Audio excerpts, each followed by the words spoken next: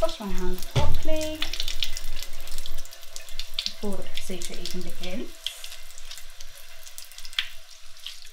Important for infection prevention. Lovely.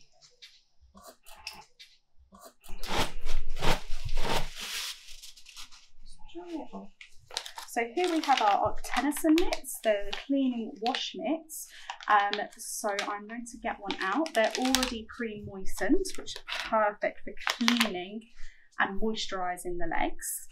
We would pop just one hand just in the wash mitts and we would come over just to our patient, just over here. And what's perfect is we can just move it just in a circular motion, just cleaning and debriding the dry skin that's on the legs. One mitt is generally good enough, but sometimes you may need two if the leg is very dry. So all this dry skin you've got on your Yeah, feet does wonders with these mitts. yeah. It's helping a great deal. But just bring the octenisan mitts and just go through just like that so we can get it nice and clean in between. Especially when we can't fit our hand in there. Yeah, My yeah. hand is not that small, unfortunately.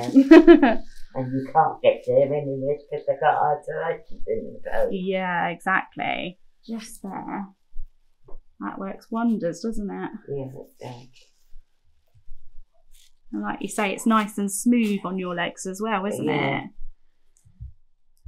A good benefit with these mitts as well. We can do it very gently over, can't we? Yeah. Use a finger, little finger just to clean.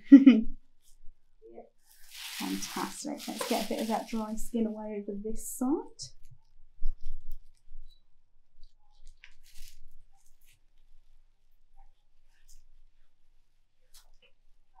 Brilliant, lovely and smooth.